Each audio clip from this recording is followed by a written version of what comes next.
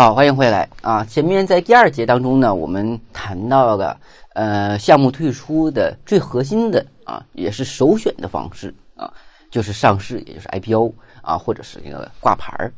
那么在很多情况下呢，呃，上市呃目标是上，首选是上市啊，但是上市这个这个路呢走不通，那么就选择其他那种方式，那么就是呃股权转让的这种方式。那么在第三节股权转让呃退出里边呢，有五个考点啊，分别是理解非上市股权转让的基本流程啊；二，了解区域性股权交易市场的基本情况啊；三，理解国有股权非上市转让的特殊的一些要求啊；四，理解并购的流程和方法啊；五，了解回购的流程和方法啊。注意这里边并购和回购的区别。那么，首先来看一下，呃，第一个啊，呃，理解非上市股权转让的基本流程啊。那么，在谈这个基本流程之前呢，在这里边谈一下这个股权转让的概念。那么，在整个教材当中，特指非上市企业的股东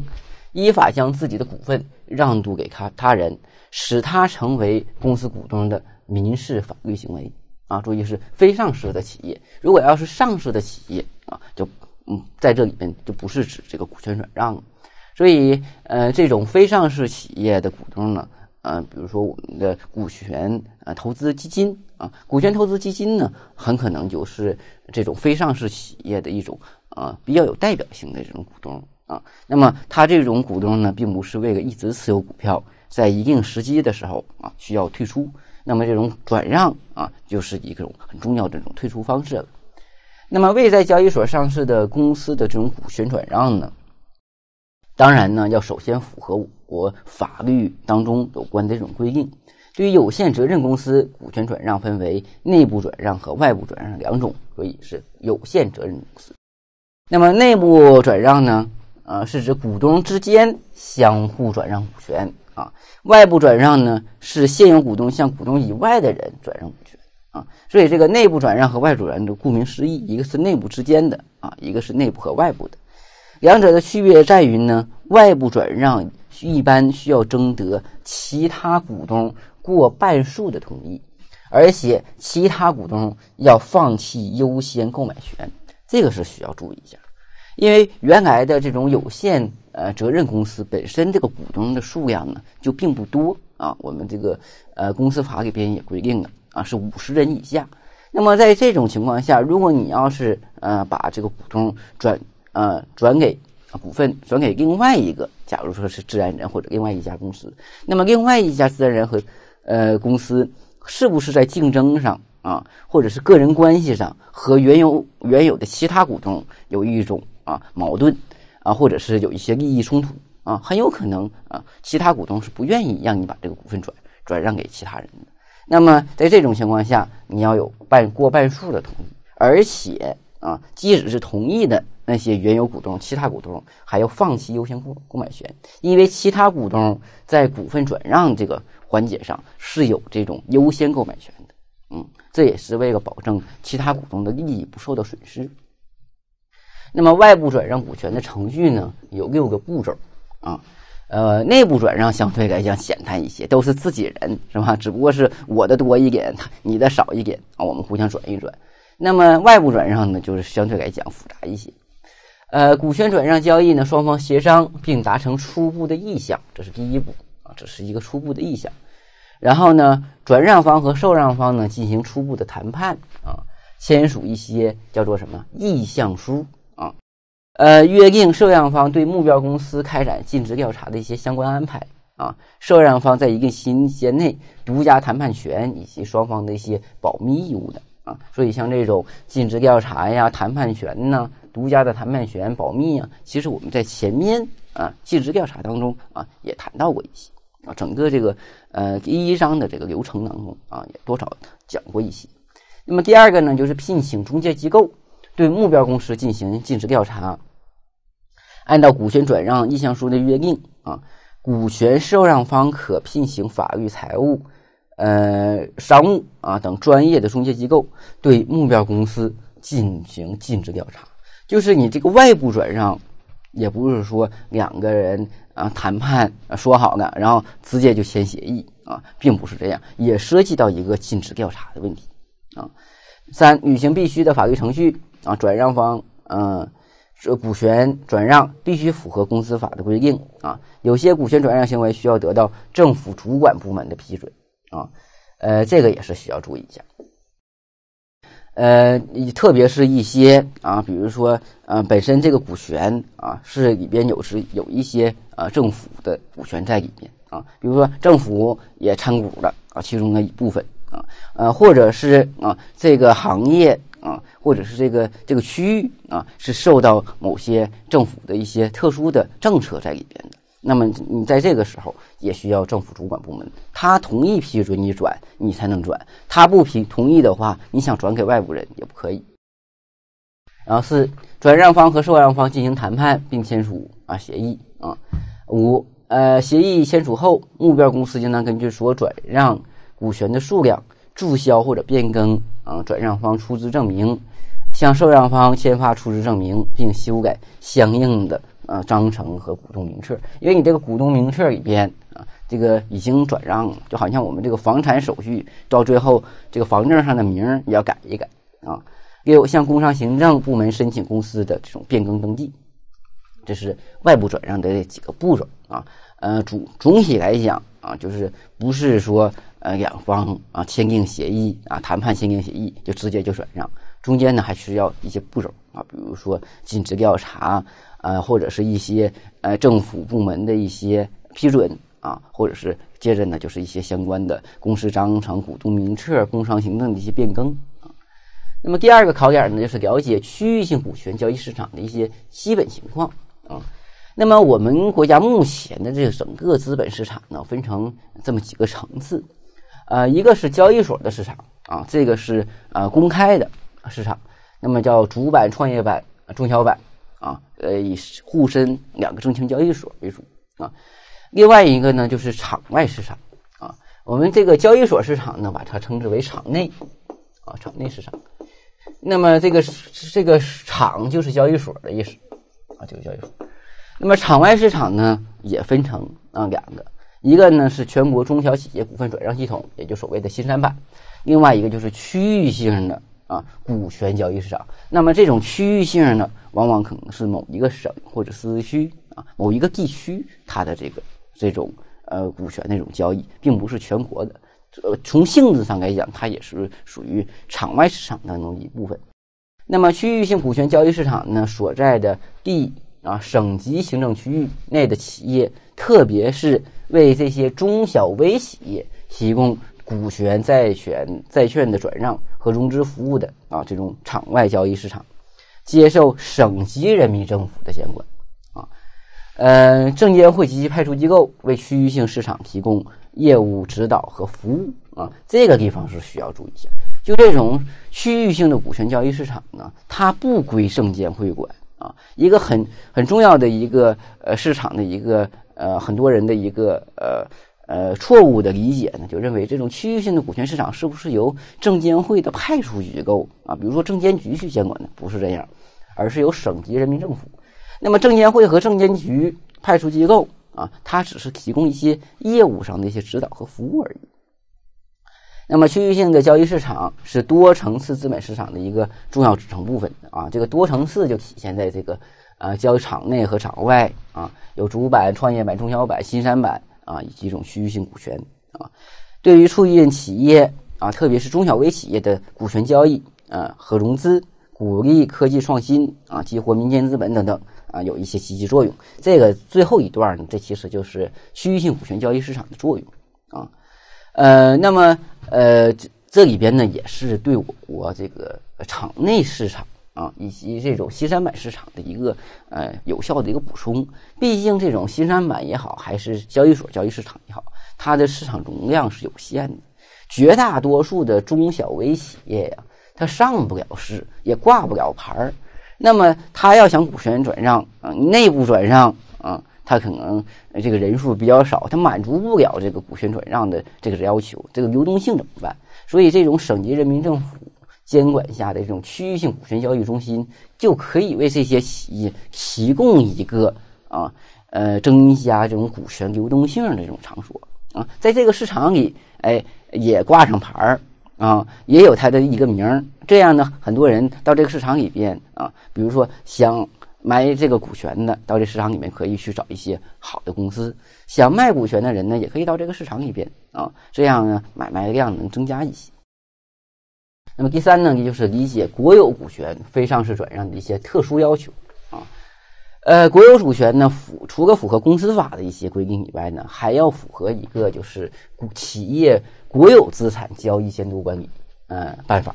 的相关规定。因为国有资产比较特殊的地方就在于“国有”两个字，它并不是某一个人的或者是某一个企业的资产，所以呢，如果你在这里边。没有一个监督管办法，没有一个严格的规定去监管的话，那你就会造成国有资产的流失。其实呢，国有资产的流失呢，前几年的时候啊，包括从改革开放开始，一直到二零一六年的今天，国有资产一直在不断的流失啊。为什么我们这么多年会产生这么多的富豪？很多的这个富豪啊，都是在这个国有资国有资产的这种改革当中。啊，呃，进行的那种呃原始积累的这种啊这种增值，那么很多啊优质的国有资产啊被那个廉价低价的转让给了个人啊，或者是这种股权呢啊以以非法的形式啊，或者是那种间接的那种形式绕开这种监管啊，取得这种国有的股权，那其实就等于相当于侵吞国有资产。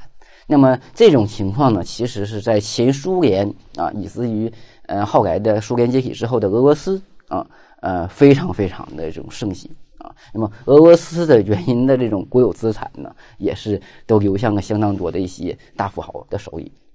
那么具体的特殊要求呢是这样的：第一个有个审批环节啊，国资监管机构啊，国资监管机构呢其实就是国资委啊，国有资产管理委员会、监督管理委员会啊，简称叫做国资委啊。我们如果要是仔细看一些上市公司啊的实际控制人的话啊，你就会发现很相当多的国有企业的这个上市公司的实际控制人就是国有资产管理委员会啊。你比如说以沈阳机床为例，嗯，哎，沈阳机床啊，这是一个非常典型的国有企业，它是一个上市公司。如果你要去摁这个 F 十啊，你再简单看一下它的那控股股东是谁？沈阳机床的控股股东是沈阳机床集团，这个集团下面有很多企业啊。那么沈阳机床是其中的一个核心企业，是上市公司啊旗下的一个。那么沈阳机床集团啊的呃控股股东是谁呀？那是沈阳的国有资产管理委员会，所以它就是一个典型的国企。那实际控制人就是就是国资委。那么，所以如果沈阳机床的本身的这种股份要去呃转换的话，啊转让的话，那么你这涉及就涉及到一个呃国资委的审批。那个沈阳机床是上市公司，那有很多国企它不是上市公司，同样的话，这里面也涉及到一个呃国资委的审批的问题啊。那么因股权转让指使国家不再拥有所处置企业的股权的啊，那么需由国资呃监管机构报本级人民政府审批。你这个股权转让，你把这个国有股全都给转出去了啊！你转出去之后，你这个这个这个企业里边，比如说百分之四十是国有股份，你把这百分之四十国有股份全全转出去，它不再成为呃国国企的话，那么你国有或者是呃呃国家的这个国有股份一点都没有的话，那你给报这个省级人民政府啊去批准啊。这个就是报本级的，你要是市级的国有企业，你就报市级政府批准；省级的你就报省级批准。国家出资企业应当制定啊其子企业股权转让管理呃制度啊，呃根据审批权限啊确定审批管理权限。其中对于主业处于股份起到国家安全、国民经济命脉的重要行业和关键领域，主要承担重大专项任务子企业的股权转让，需由国家呃出呃。需需由国家出资企业报同级，嗯，国资监管机构批准啊，这个是需要注意的。因为有些呃企业啊，特别国有企业，属于国民经济很重要的。啊，比如说呃一些呃军事行业。啊，虽然是民用的啊，但是也可以转为成那个军军事呃军事产业的。啊，或者是一些矿山呐啊资源呐，国计民生很重要的，所以这些企业啊的股权转让，那你给报同级的国资监管机构啊，因为很多国国有企业规模很大啊，这个大的国企啊，它这个级别都很高。哈，有些国企你市级你根本就管不了啊！你给你最起码你给一个省级啊，省级的才监管机构才能跟这个国有企业，比如说国有企业的总经理啊或者董事长，这才是企呃同级的。你要是到一些更大的国企，比如说央企的话，那央中央直接管的哈，那么你这个这个企业的最大的这个领导那都是副部级的啊，所以这个级别是很高的，所以要报同级的啊监管机构去批准去。啊，这个需要注意一下。呃，第二个呢，就是国有股权非上市转让的一些审计和评估啊，需要由这个转让方啊，也由这个会计事务所啊，对转让的这种标的企业进行审计。呃，不宜单独进行审计呢，应当啊取得转让标的企业的一个最近年期的审计报告啊。呃，按照要求，法律要求必须进行资产评估啊。这种股权转让事宜，转让方应当委托具有相应资质的评估机构，对转让的标的资产进行资产评估啊。股权转让价格应以核准或者备案的评估结果为基础去确定啊。所以这里边就是防止国有股权的那种贱卖啊。我找一个评估机构。啊，本来这是一个亿的国有股权，价值一个亿啊，我估价出来就是估价成五千万，啊，我把这个一个价值一个亿的国有股权，我转给个人，我花五千万，我就转过来了，到我手里边，是吧？到我手里边，我这其实就等于挣挣钱一样。所以这种资产评估也好，包括这种审计也好啊，就是为了防止这种啊国有资产的流失。嗯，第三啊，转让嗯的交易啊。呃，原则上是通过产权市场啊公开进行啊，所以这里边涉及到一个呃招投标的问题啊。比如说国有股权某一个呃国有呃企业啊里边的国有股，我要把它卖出去，卖出去放到这个产权交易市场里边啊挂牌，然后呢通过招标的形式啊谁愿意买谁出价啊。转让方呢可以根据企业实际情况和工作进度，呃采取信息预披露、正式披露相结合的方式，通过产权机构的网站。分阶段对外披露相应的信息啊，呃，正式披露信息时间不得少于二十个工作日啊，公开征集受让方。所以，就目前这个国有股权转让的这个环节当中呢，嗯，相应的这种制度是有啊，但是呢，呃，实际情况是很多制度由于形式，从呃会计师的这种啊审计。啊呃，到资产评估的这个评估，以至于挂牌到产权市场上进行这种招投标啊，明的是招投标，实际上下边啊参标的几个企业啊，也都是呃通过行贿呀，包括领导受贿的这种方式啊，去去拿拿到那种啊呃中最后是中标啊，或者甚至是呢几个企业恶意的去投标去啊，这这这叫围标啊，到最后呢，哎，使得不管不管哪个企业。啊，那个中标啊，最后这个受益方都是自己，所以呢，呃，相关的制度大家要了解，但是在实际情况当中呢，呃，包括这种即使是国有股权转让，因为这都是大家都知道，这都是呃一块很肥很肥的肉，是吧？呃，这是国家的啊，很肥很肥的肉，他一转让的时候啊，这个呃就都涉及到一些个人的利益啊，谁都想吃一口。那么第四呢，就是转让价款的支付。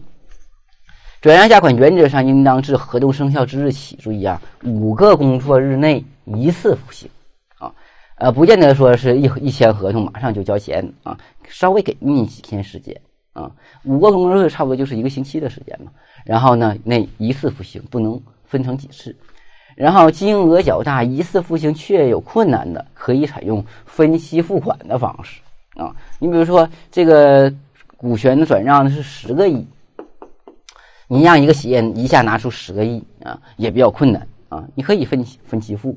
那么呢，注意首期首付款啊，呃，不得低于百分之三十，并至合同生效之日起五个工作日内支付。其余款项啊，应当提供转让方认可的合法有效担保，并按同期银行贷款利率支付延期支付款的利息啊。然后，呃，付款期限不得超过一年，也就是说你在一年之内把它交上就可以。那么五个工作日内先要交百分之三十，剩下的钱不仅要交，而且呢，因为你是延期交的，你还要加这个利息，是吧？所以你这个，嗯，你百分之三十你不，你假如说是，呃，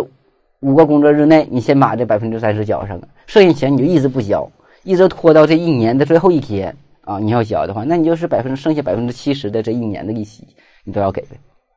嗯。所以这个是注意这个支付方面的一些细节啊，所以里边这个数字呢，就是呃经常考的一种考点啊，比较容易出题。啊，第五就是转让协议的这种效益啊，呃，由于这种国有股权非上市转让需经过这种特殊的这种审定的环节，所以这个效益呢，呃，并非签订时就有效，需要有这个附加条件啊，各项审批评估完成之后。获得各个部门的批准以后才能生效，所以有些国有企业国有股份的这种转让呢，签完协议之后啊，甚至打款首付款都交了，到最后也不见得能成功啊。比如在这个过程当中出现了一些差错啊，里边的一些问题被揪出来了啊，或者是呃这个前期谈判的时候啊，这个领导还在，你给个领导好处，这个领导也批了啊，然后呢，嗯，在这个。呃，这个呃后继的这个过程当中啊，比如这个签订合同的后面的这个过程当中，这个领导因为出出问题啊，已经被双规。被双规的时候，这一查，哎，他在位的时候签的都有哪些东西？那么你好，你这个国有股权你下边就暂停嘛啊，因为你本身你这个最开始你中标就有问题，所以呢，一定要各部门都批准之后啊，最后才能生效。这个时候需要注意一下，这个效益法律效益相对来讲也比较特殊。好，接下来的话，我们看一下第四个考点，就是理解并购的流程和方法。啊，并购呢，我们经常提，而且这个呃，私募股权投资基金里边呢，很重要的一大类呢，就是并购基金，主要面向一些呃成熟的一些企业啊。那么这里边，我们先谈一下并购的含义。那么企业并购呢，包括兼并和收购两种方式啊。呃，两种并购的方式。那么兼并呢，是指两家或者更多的独立的企业合并成一家企业啊。通常由一家占优势的企业吸收一家或者更多的企业，也就是说大鱼吃小鱼。这一个行业里边有好几个企业啊，比如有四个，哎，其中这个 A 公司规模大一些啊，然后呢，他把这个 B、C、D 三家公司都合并到一起去了。我组成一家新的这个企业，所以这个是叫做兼并啊，大鱼吃小鱼。那么收购呢，这是一家公司用现金、股票或者债券等支付方式购买另外一家公司的股票或者资产，获得该企业控制权的行为啊。那么你这个收购不见得是百分之百，哎，完全把你的股票都买过来，我只需买百分之五十一就行了啊，百百分之五十一，那就是成为控股股东。那么你达不到百分之五十一，我达到百分之四十，那我可能是第一大股东，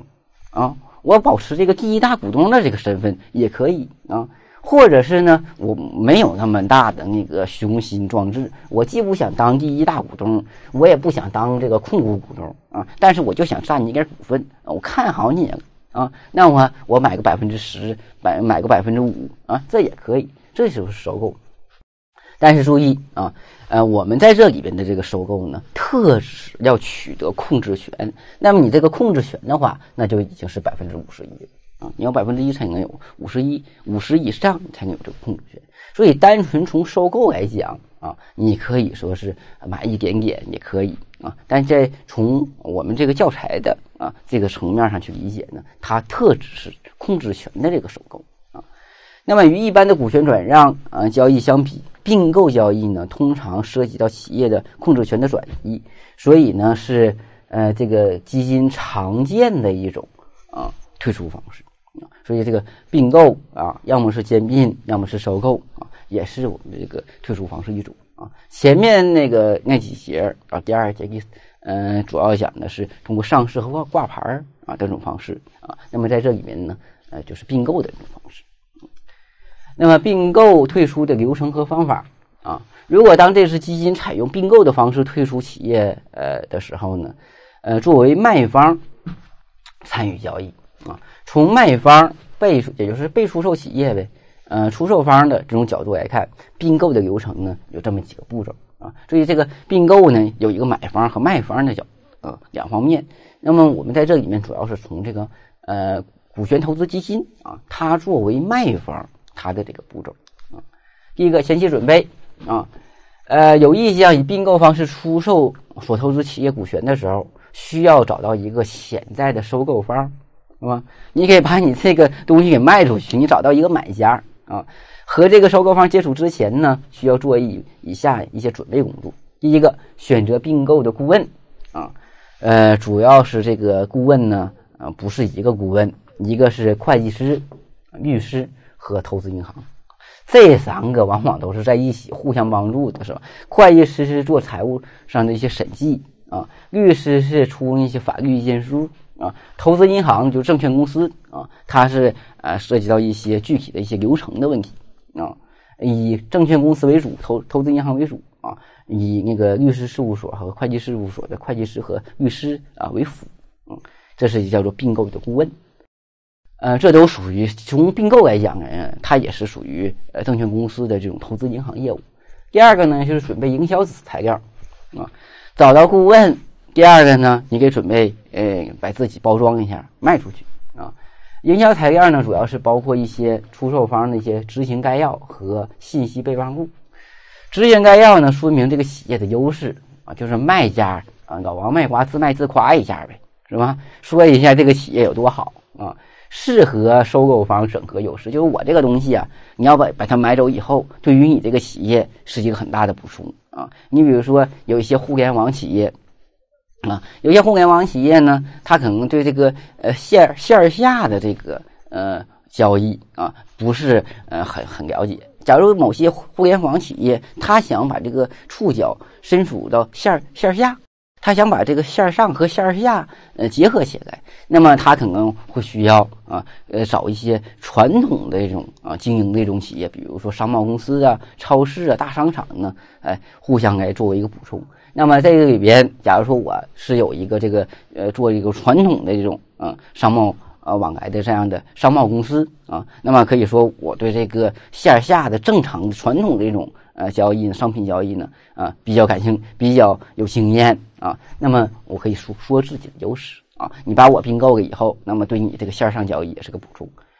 然后呢，以吸引潜在的战略收购者啊。信息备忘录呢，是为了规范出售方的信息信息披露啊，提高信呃信息的这种质量啊。第三呢，就实施营销行为啊。呃，在这个阶段呢。呃，投资银行将联系有针对性的啊这种买家，所以这个投资银行呢，他是负责去卖去，啊，他去联系买家，联系买家以后啊，然后呢去找这个基金，你们去谈，我这个基金手里边有这个公司啊，百分之三十的股份啊，这百分之这个公司有多少多少啊，我把它卖给你。当然，你这种并购的时候，那那你这个基金呢，它肯定要谈到一个呃原始的这种投资的问题。啊，最开始投这个企业的时候，可能就投个一百万。现在呢，呃，有百分之三十的股份，这个企业已经发展壮大起来了，已经可以把它包装一下，把它卖出去，就好像这个姑娘可以出嫁了一样。从这个最小的小孩的时候就开始养她，嗯，是吧？养到养到大了以后，她她要嫁人，那好吧，啊，这个这个彩礼钱收多少，这也是一样。所以呢，这个要去买一些啊合适的这样的买家，嗯，还要卖一个好价钱。那么第二个，呃，尽职调查啊，双方呢有着信息不对称啊，尽职调查呢可以减少这种信息不对称。所以这种信息不对称呢，就是互相不了解啊，你骗我，我我骗你，是吧？你忽悠我，我忽悠你。呃，你作为卖方来讲啊，都说好的地方，不说坏的地方啊。买家呢也可能有也有着优势和劣势啊，可能对对你这个东西不了解啊，所以呢这个信息不对称，那么尽职调查可以减少。啊，这种不对称，降低买方的这种收购风险。所以呢，有意向的买家注意，买家对被投资企业进行尽职尽职调查，其实这个被投资企业呀，他呢总是被被别人调查。你这个不被投资企业，其实就是那个最开始的那个目标企业嘛。最开始这个股权投资基金的时候，对这家企业很小很小的时候就已经开始尽职调查过一番。现在又有一个大买家，这个小企业已经开始上大长大了，长大的时候要卖卖人的时候啊，那你这个买家也要调查一下。然后第三，价值评估阶段啊。那么，收购方和出售方核心内容就是估值的问题，那都是啊。所以这个最开始也是一样，就像这个呃股权投资基金最开始给这个目标企业投资的时候，不也有一个估值的问题？这是都是谈判的核心，就是你这个估值合不合理，估多少？嗯，估值合理了之后，我们再坐下谈，就是这个钱十个亿，呃，大家都认可。我们再坐下去谈一些细节的问题啊，这十个亿怎么交啊？分几次交啊？多长时间？违约责任呢？诉讼怎么办啊？出现问题怎么解决？那都是后话，是吧？所以资产评估呢，一般也是委托独立的评估机构去完成。价值评估的目的啊，就在于计算出呃这个股权呃基金并购退出的这个价值的份额。最终的评估结果呢，由双方在基础上协商得到。啊，这肯定是涉及到一个讨价还价的问题啊。然后四就是履约啊，协商履约啊，支付方式、期限、交接方式、有关手续的办理，这都是一些其他的啊细枝末节的东西啊。但是对这个合同呢也比较重要，所以呢这个双方也要经过多轮的谈判才能达成啊。那么最后呢办理一些交接手续，所以这个并购啊，它也是一个呃比较复杂的过程。啊，就是无论是重组也好，还是并购也好，啊呃等等啊，涉及到这些呃大的这种资产从资产的转换，甚至这种呃并购啊呃都是需要一定的时间来完成的。那么在这个时间的漫长的时间的谈判的过程当中呢，就有着很多的不确定性啊，所以呢，不是说每一次这种并购都能够成功的，可以说绝大多数的并购啊，到最后是不了了之，是不成功的。啊，少部分的并购行为最后是能够成功的。那么第五个呢，就是了解回购的流程和方法。注意这个回购和并购的区别。并购呢是把啊这个企业的股份卖给外边外部的另外一个投资者啊。那么注意回购的概念呢，通常是由被投资企业大股东。或者是创始股东出资购买股权投资基金所持有的企业的股份，从而使呃使得实现退出。所以这个注意回购和并购的区别是一个是卖给谁的问题，谁买的问题。并购是把自己的股份或者是整个这个公司卖给另外一家另一家投资者啊，呃另一家投资者出钱去并购目前的这个企业。那么回购是指谁给回购啊？或者叫购回啊？是由大股东，比如说我我我占有百分之十的股份，我把这百分之十的股份我直接卖给大股东，大股东是某一个个人或者是一个集团，不管他是谁啊，我把这百分之十的股份卖给你，我最开始是投个你一百万，假如说我最开始投个你一百万，那么你投五年前投你这个公司的时候，你这个公司的价值是一千万。啊，公司经过呃尽职调查，经过估计评估啊，我们双方也签协议了。我投你的公司价值一千万，我投你一百万，我占个百分之十的股份，这是五年前。那么经过五年的发展，这个公司已经发展成非常非常大的规模，也进行扩张。目前的这个价值是一个亿，公司价值一个亿，那我这个股份我还占百分之十，那我现在的股份的价值就已经一千万啊！我一千万我不卖给别人，我卖给大股东。啊，你大股东你买回去花一千万给我买回去，啊，那么这个呢就叫回购。那么管理人认为所投资企业效益未达到预期，或者是被投资企业无法达到投资协议中的一些特定条款的时候，可以根据协议要求被投资企业回购股权，从而实现退出。啊，所以呢，呃，我们。呃，大家可以仔细看一下这一章这几节的这个逻辑这个层次安排。为什么 IPO 放在最前面？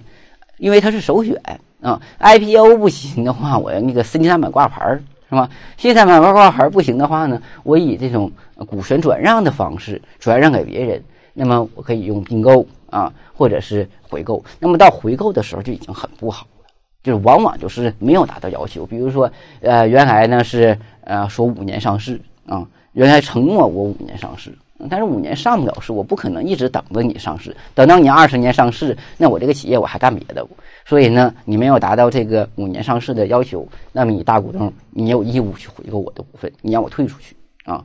呃，另外一个呢，有可能你这个公司业绩啊没有想象的那么好啊，呃，这这几年业绩增长率呢，呃，并没有爆发啊，或者是是市场占有率呢也不够啊，你这个企业说白了就是没有达到我之前预先估计的那种那种呃发展的那种那种势头，那么你大股东也要回购，所以这个时候他虽然是能够退出，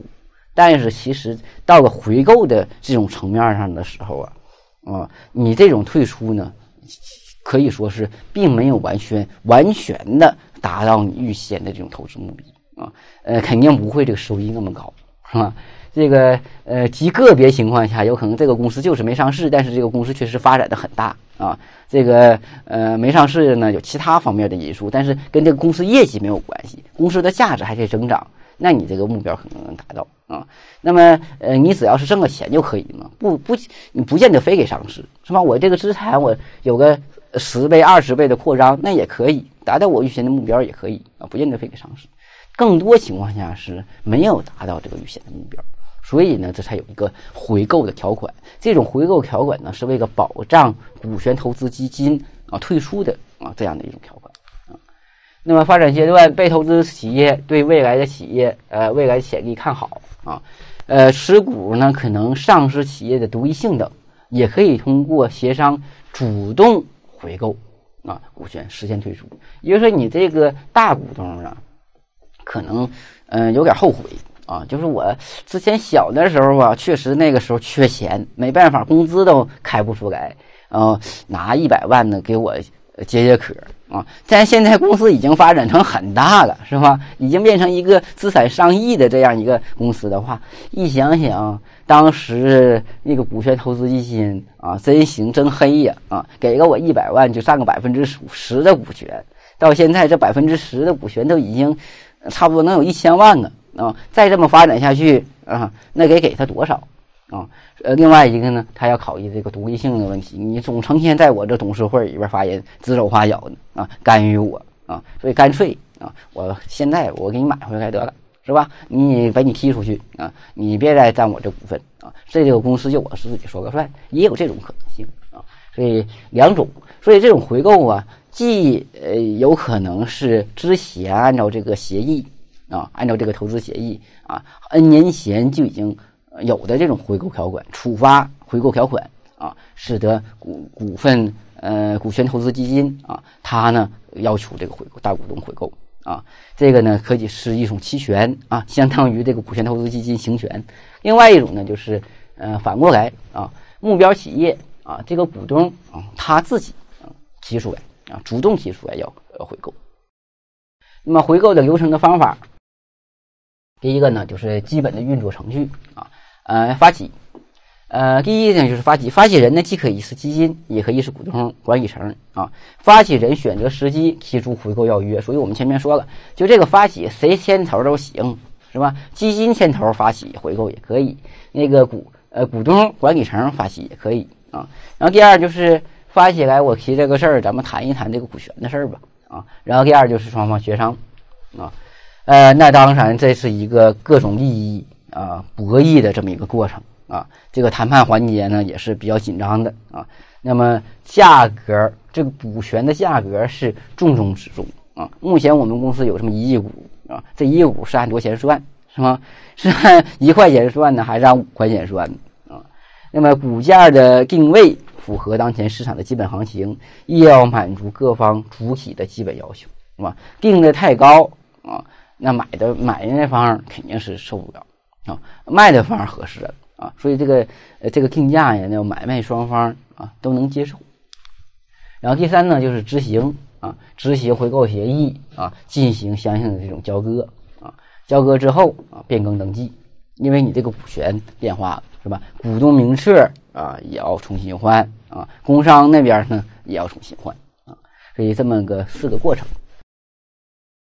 那么第四节呢，就是清算退出啊。清算退出呢，相对来讲呢，是最不理想的一种退出方式啊。呃，那么在这里面考纲呢，只有一个理解项目清算退出的流程和方法啊。那么清算呢，是指企业结束经营活动、处置资产并分配的行为。清算退出呢，是股股权投资基金通过被投资企业清算实现退出，主要是针对投资项目未获成功的一种退出方式。就之前的退出方式啊，有可能有成功，也有可能呃不是特别成功，但基本上是全身而退啊。最起码我最开始的这个资金并没有得到什么损失，只不过是多挣少挣的问题啊。可能回购的时候啊，这个会没有。达到太理想的状态啊，少挣了一些。IPO 的时候呢，那可能很理想啊，挣的比较多。那么你到清算的时候是一种完全被动，这个企业根本就干不下去，要破产啊。那你你根你根本就实现不了增值。嗯，到最后弥补亏损，再加上这个呃清算的费用，再加上一些债权人的债你要还，到最后整个这个公司完全资不抵债，你可能一分钱你都拿不到啊。那么清算的退出方法，破产清算。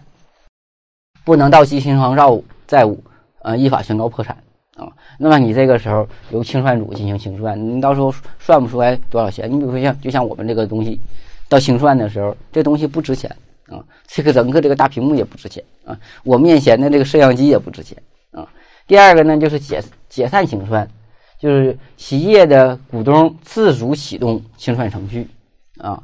一种是啊自自然死亡啊，你看一种是自杀。是吧？这两种呢，可能都都不行啊，就是企业是干不下去了。所以一个是破产，一个是解散。那么退出清算的流程，第一个就是清查公司财产，制定清算方案啊。既然是要呃清算啊，无论是破产呢，还是解散，那可以看看我们公司现在还有多少东西吧，给核算一下公司资产呢。啊，这房屋啊、人员、设备、技术啊，包括呃银行的存款啊，这都查一查。然后制定嗯调查公司清算，嗯呃清调查和清理公司财产，这是第一步啊，我们会说 A。然后 B 制定清算方案啊，C 啊提交股东大会通过或者报主管机关去确认啊。这个流程我们要了解一下就行啊。这是第一个啊清。呃，清查公司财产，制定清算方案。第二个呢是了解公司的债权债务啊。第一步呢是摸一下公司的家底儿，看看还剩下什么。第二个呢，看看还欠多少钱，是吗？为了这个清算的目的啊，有权处理尚未了结的一些业务，就这个清算组啊，权限是很大啊。到最后，嗯，你这有些业务可能是很挣钱啊，但是没办法，为了清算的。嗯，原因由于清算的原因，有些业务干脆就不做了啊，就停止了。那么收取公司的一些债权，嗯，哎，别人欠呃咱们公司的钱能收啊就收一些，是吧？那当然咱们欠别人的钱啊，这就是债务啊。一方面有债权的情况啊，别人欠我们多少钱，我们又欠别人多少钱啊，这个就是了了结是吧？了结公司的。债权和债务不是了解，而是了结啊，要结清。然后清偿债务是吧？清偿债务这我们不多说了。那第三，分配公司的剩余财产是吧？清偿了全部的债务之后，如果还有剩余的，清算组才能够将剩余财产分配给包括股权投资在内、基金在内的股东啊。这个时候也是，假如说我们剩完以后还剩下一百块钱儿啊整个这个公司的清偿债务之后，就剩下一百块钱儿。那好的，按照这个股股东的这个比例你去分嘛，啊，你这个你大股东可能多分点那么你这个股权投资基金可能就占百分之十的股份。那好，最后给你十块钱，整个这个企业最后就就剩十块钱啊，很有可能啊。那么依法约定的分配顺序和份额，按照约定进行分配。如果没有约定啊，就按照比例啊。股东之间有可能说是啊，先给你分或者先给他分啊。如果有这种约定的话，那就按照约定来；没有约定那就是按照比例呗。你的比例是多，你就多分点嗯，那么好，呃，以上呢就是我们整个这个退出啊、转让这种方式的啊这种呃这种清算啊。到这里呢，整个这一章呢啊项目的退出的这几种方法啊，到这里呢就给大家介绍完毕。呃，大家休息一下，再见。